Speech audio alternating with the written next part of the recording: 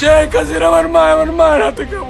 আর কিছু চাই না বাংলাদেশ থেকে আর বাংলাদেশ থেকে কিছু চাই না প্লিজ যার জন্য আমি আমার আমার বাংলাদেশ নাগরিকতা আমি বর্জন করলাম।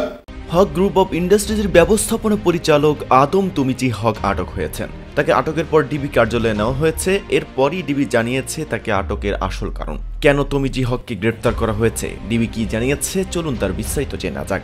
দর্শক, শিল্প প্রতিষ্ঠান হক গ্রুপ অব ইন্ডাস্ট্রিজের ব্যবস্থাপনা পরিচালক আলোচিত ব্যবসায়ী আদম তুমিজি হককে আটক করেছে ঢাকা মেট্রোপলিটন পুলিশের গোয়েন্দা বিভাগ। শনিবার সন্ধ্যায় তার গুলশানের বাসা থেকে তাকে আটক করে পুলিশ।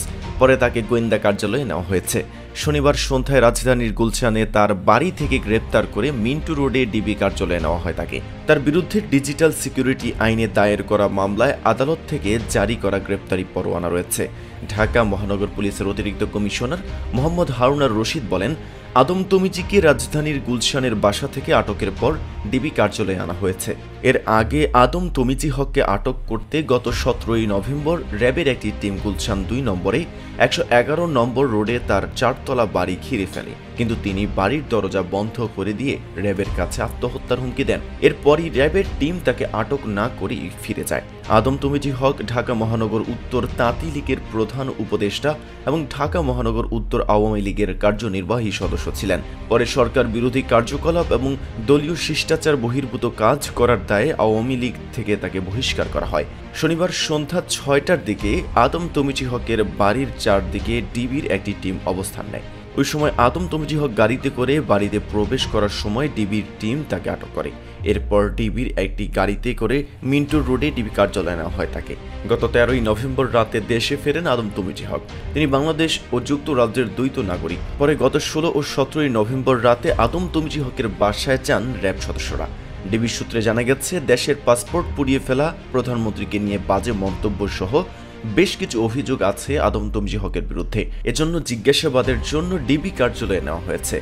আদম তমজি হকের বিরুদ্ধে সাইবার নিরাপত্তা আইনে রাজধানীর দক্ষিণ খান থানায় একটি মামলা হয়। আনিসুর রহমান নাইম নামে এক ব্যক্তি এ মামলা করেন। যা পনেরোই নভেম্বরে ছাড়ভুক্ত হয়। এদিকে আদম তমজি হকে গ্রেপ্তার দেখিয়েছে ঢাকা মহানগর গোয়েন্দা পুলিশ, ডিবি।